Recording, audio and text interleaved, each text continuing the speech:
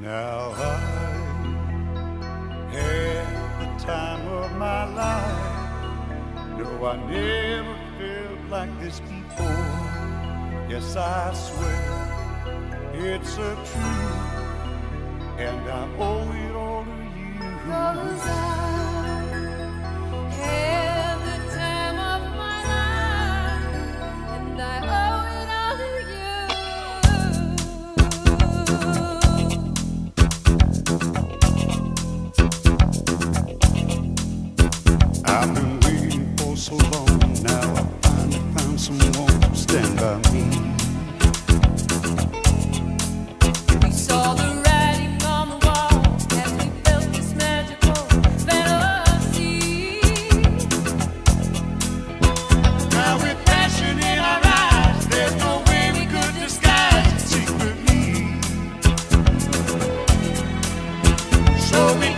each other's hand, cause we seem to understand the urgency.